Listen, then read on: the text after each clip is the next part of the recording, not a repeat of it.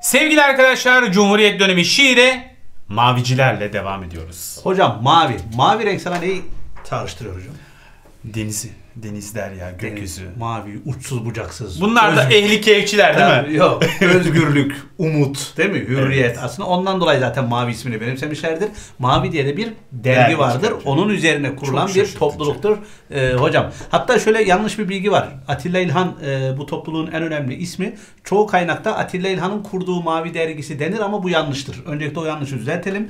Ee, dergiyi Teoman Civelek aslında kuruyor. Yazı işleri sorumlusu olduğu Mavi dergisi etrafında şairler toplanıyor. Dergiye sonradan dahil olan Atilla İlhan abimiz bir nevi. Evet. Atilla İlhan tabi dergiye sonradan dahil olunca hem e, şiirlik yönündeki gücü hem ideolojik olarak gücüyle diğer şairlerde ne yapıyor? Etkiliyor ve ondan sonra artık her şey Atilla İlhan'ın olmuş oluyor.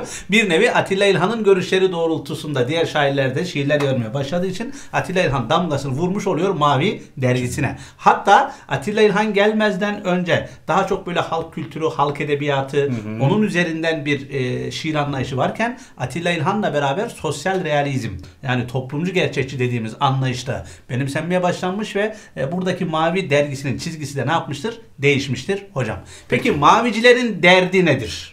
Şimdi hocam 1940 yılında demiştik ki garipçiler çıktıktan sonra hiçbir şey eskisi gibi olmayacak. Ve herkes serbest şiirle yazmıştı ve orada da şunu ifade etmiştik. Herkes garipçileri eleştirmiştir demiştik. Yani vurun abalıya. Herkes eleştiriyor. Toplumcular eleştiriyor. Hisarcılar eleştirdi. Maviciler de yine kimi eleştirmiştir? Garipçileri eleştirmiştir. Peki garipçileri niçin eleştirmişler? Garipçilerin şiiri basitleştirmelerine karşı çıkmışlardır. Aslında bu noktada ikinci yeniye benziyorlar hocam. İkinci yeni de garipçilerin şiiri basitleştirmelerine ne yapmışlardı? Karşı çıkmışlardı. Maviciler diyor ki kardeşim şiir bu kadar basit olamaz. Şiire o kendi özelliğini, sanatkarlığını falan ne yapacağız? Vereceğiz diyorlar. Ve garipçilerin karşı çıkmakla beraber maviciler şu ana ilkeyi benimsemişlerdir gençler. Buraya dikkat. Sorularda zaten ana özellik budur. Bunu görür görmez yapıştır. Cevap maviciler olacak. Peki nedir? Şiirin zengin benzetmeli, içli ve derin olması gerektiğini savunmuşlardır. Yani şiir basit olamaz. Şiirde zengin benzetmeler yani sanatı söyleyişler olacak. İçli ve derin ne yapacak? Olacak diyorlar hocam. Peki mavicilerle ikinci yeninin farkı nedir desek? İkisi de şiirin basitleştirmesine karşı. Aradaki fark da şudur değerli gençler. Maviciler hem şiiri basitleştirmeyelim diyorlar. Yani şairanelik olsun diyorlar. Hem de bunun yanında toplumcu meselelere de değinelim diyorlar. Yani ikisini birleştirmişlerdir. Hem bakın şairanelikten ödün vermeden toplumcu bir bakış açısıyla şiirlerini oluşturmuşlardır. Bu da zaten sosyal realizm yani toplumcu gerçekçilik demektir değerli gençler. Buna dikkatinizi çekerim ve sonuç itibariyle tabii ki Anadolu'yu eserlerinde de sıklıkla işlemişlerdir maviciler hocam. Bunlarınki biraz daha şuna mı benziyor yani? Şiirden ödün vermeyelim ama toplumu da yavaş yavaş bu şiir mantığına yaklaştırayım. Çak çak çak. Toplumu bilinçlendirelim. Aynen budur. Şimdi tabii ki mavici demek Attila İlhan demektir. Burada Attila İlhan'ın iki şiirini aldık hocam. Bunları bir inceleyelim. Bu arada Attila İlhan e, şiirlerinde e, büyük harf ve noktalama işareti genellikle kullanmaz. Onun için bu şekilde bir kullanım vardır. Atilla İlhan An gelir şiiri bak ne demiş? Paldır küldür yıkılır bulutlar, gökyüzünde anlaşılmaz bir heybet. O eski heyecan ölür, an gelir, biter muhabbet. Çalgılar susar, heves kalmaz, şara, şataraban ölür. Şarabın gazabından kork çünkü fena kırmızıdır. Kan tutar, tutan ölür. Sokaklar kuşatılmış, karakollar taranır. Yağmurda bir militan ölür. An gelir ömrünün hırsızıdır. Her ölen pişman ölür. Hep yanlış anlaşılmıştır. Hayalleri yasaklanmış. An gelir şimşek yalar. Masmavi dehşetiyle siyaset meydanını direkler çatırdar. Yalnızlıktan sehpada pir sultan ölür. Şimdi hem serbest yazılmış hocam dikkat ettiysen. Hem mesela garipçiler gibi bir basitlik var mı? Yok. Yani bir derin, sanat, derin, ta- derin, derin güzel, sanatlı evet. anlayışlar var. Akıyor. Toplumsal mesela bakın Pürstan ölür diyor değil mi? Bir militan ölür, karakollar. Yani toplumcu bir takım ögeler de barındırıyor şiir. İşte bu, bu tarz bir şiir nedir? Mavi şiirdir. Hatta garibe yaklaşan şiirler de vardır. Mesela şurada eğlenceli bir şiir var Atilla İlhan hocam. Aysel git başımdan ben sana göre değilim. Ölümüm birden olacak seziyorum. Hem kötüyüm, karanlığım, biraz çirkinim. Aysel git başımdan istemiyorum. Benim yağmurumda gezinemezsin, üşürsün. Dağıtır gecelerim sarışınlığını. Uykularım uyusan nasıl korkarsın? Hiçbir dakikamı yaşayamazsın. Aysel git başımdan ben sana göre değilim. Benim için kirletme aydınlığını, hem kötüyüm, karanlığım, biraz çirkinim. Islığımı denesen hemen düşürürsün, gözlerim hızlandırır tenhalığını, yanlış şehirlere götürür trenlerim, ya ölmek ustalığını kazanırsın, ya korku biriktirmek yetisini, acılarım iyice bol gelir sana, sevincim bir türlü tutmaz sevincini, Aysel git başımdan, ben sana göre değilim, ümitsizliğim olsun anlasana, hem kötüyüm, karanlığım, biraz çirkinim. Aysel stalk falan da yapma yani. Evet bu arada şiirin bir kısmını aldık hocam. Bu şiir sürprizli bitiyor. Merak edenler devam araştırsınlar, görsünler. Hesabımızda paylaşıyoruz. Evet.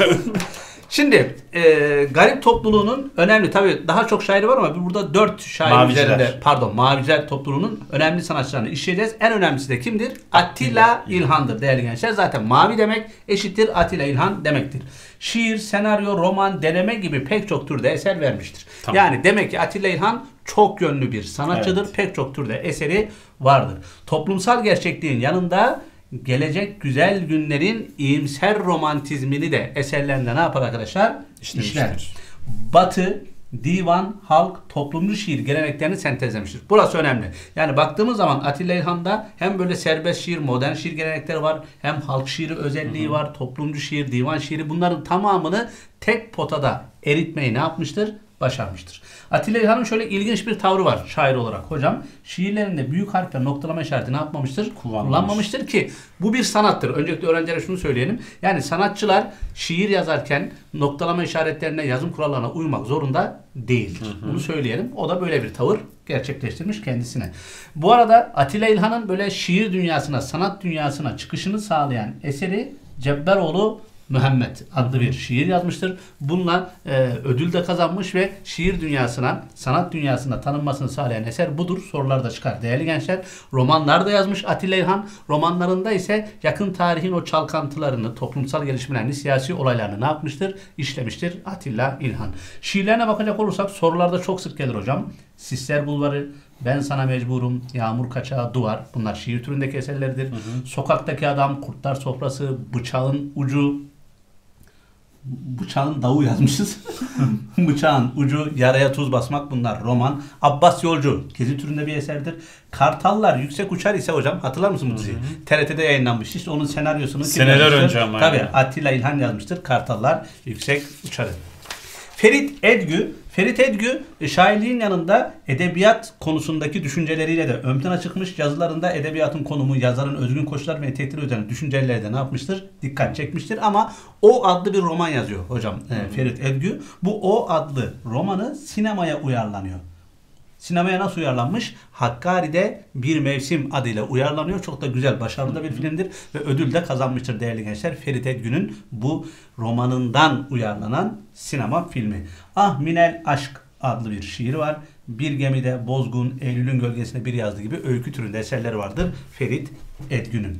Ahmet Oktay ise başlangıçta Ahmet Arif etkisiyle toplumcu şiirler yazmış. 1960'lardan sonra toplumcu gerçekçi bir yaklaşımla ama niye yönelmiştir? İkinci İkinci yeneye doğru yönelmiştir. Yani sonuç itibariyle bu sanatçılar uzun yaşadıkları için hocam belli bir müddet sonra sanat çizgilerini ne yapabilirler? Değiştirebilirler. Ahmet Oktay ile ilgili sorularda en çok çıkan eseri Yol üstündeki semender. Dikkat edin sorularda karşınıza çıkar değerli gençler. Son olarak Orhan Duru'dan bahsedelim Mavicilerde. Ankara Üniversitesi Veteriner Fakültesinden mezun olduğu bir süre veterinerlik yaptıktan sonra gazeteciliğe e, kendini meslek olarak ne yapmıştır? Seçmiştir. Demek ki Orhan Duru gazetecilikte ilgilenmiştir. E, öyküleri vardır e, Orhan Duru'nun. Sorularda karşınıza çıkar. Ağır işçi, yoksullar geliyor diye öyküleri var Orhan Duru'nun da. Değişik kaynaklar hocam çok daha başka şairleri de Maviciler içerisinde verebilir. Ama Mavi topluluğu olarak öğrencilerimizin Atilla İlhan'a, Ferit Edgü'ye, Ahmet Oktay'a, Orhan Duru'ya e, bakmaları, bunları bilmeleri yeterli Yeterli. olacaktır.